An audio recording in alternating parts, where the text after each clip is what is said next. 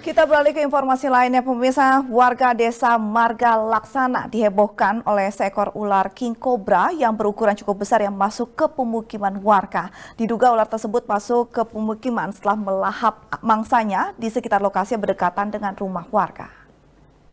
Seperti inilah ular king cobra berukuran besar sepanjang 3 meter yang menghebohkan warga Dusun Cilayung, Desa Marga Laksana, Sumedang Selatan, Sumedang. Diduga ular kobra ini masuk ke pemukiman warga setelah melahap mangsanya karena saat ditangkap ular tersebut tidak terlalu agresif. Tak ayal penemuan ular king cobra di pekarangan rumah itu pun membuat heboh seluruh warga.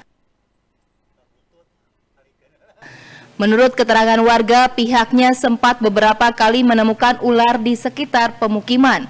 Akan tetapi baru kali ini warga menemukan ular berukuran besar dan berjenis ular kobra yang mematikan sehingga membuat warga ketakutan. Ini 3 meter 40-an itu. Kalau melihat orang eh, apa ular kayak ini gitu besarnya belum pernah baru sekarang ini. Kalau di bawah ini mah kalau yang hitam-hitam gitu kobra biasa sering Kini ular tersebut diamankan oleh warga.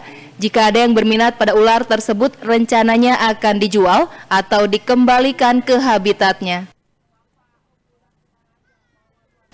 Diki Guntara, Bandung TV